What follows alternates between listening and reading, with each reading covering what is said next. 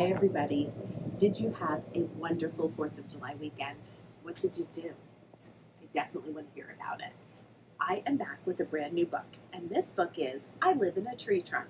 It's written by Meg Fleming, and it's published by HarperCollins, and we want to thank them for allowing us to share this book with you today.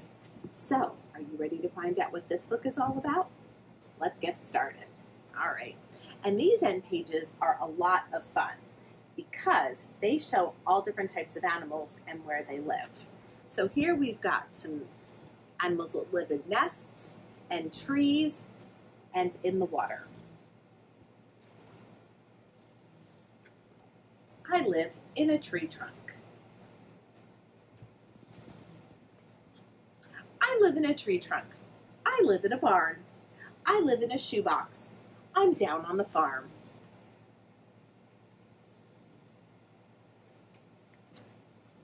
I live in a bog. I live in a mound. My place is a burrow hidden in the ground. Are you for sure? I had no clue.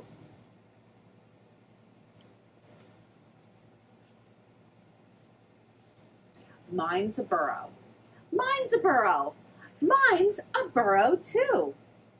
All these animals live in burrows. Did you know that?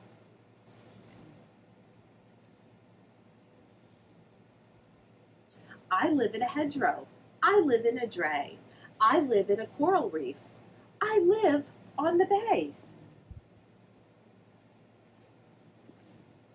I live in a web.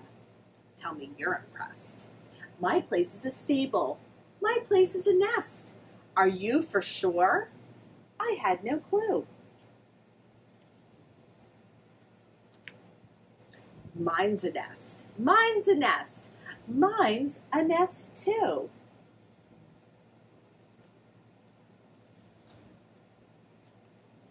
I live in a hive and dine out in a flower.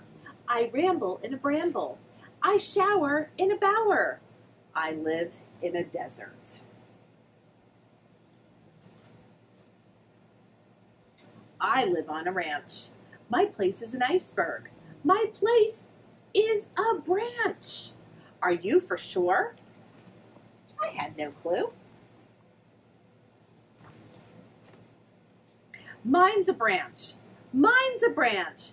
Mine's a branch too.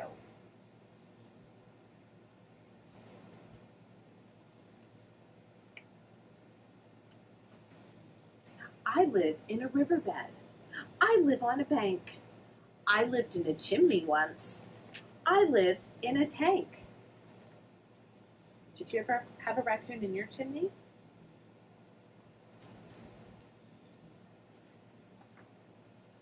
I live in a pigsty. I live in a pen. My place is a dam. My place is a den. Are you for sure? I had no clue.